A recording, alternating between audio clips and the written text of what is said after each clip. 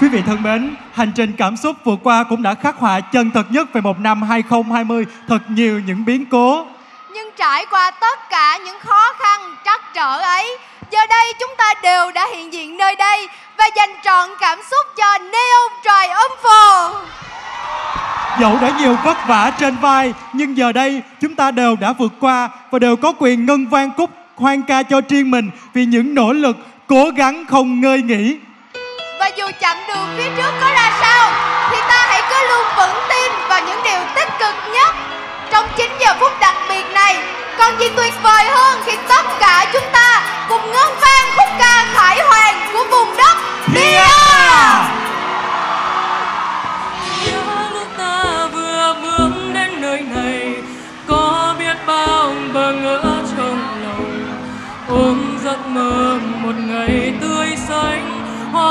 trên đường ta đi.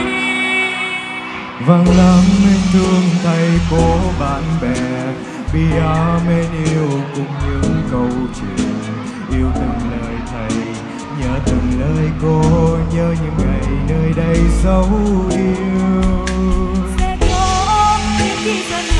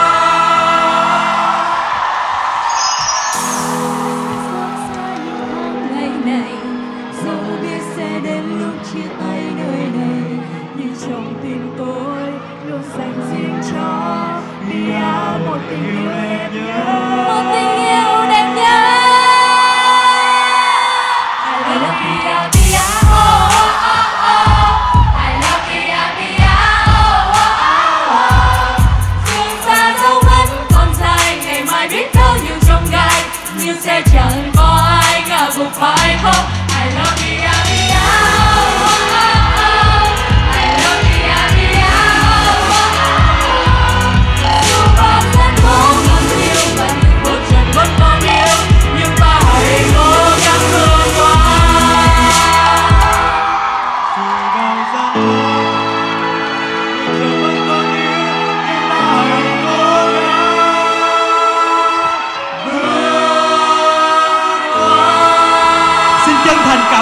thầy cô, các anh chị cùng tất cả các bạn đã dành trọn cảm xúc cho sân khấu Neon Triumph đêm nay. Xin chào và hẹn gặp lại tại Neon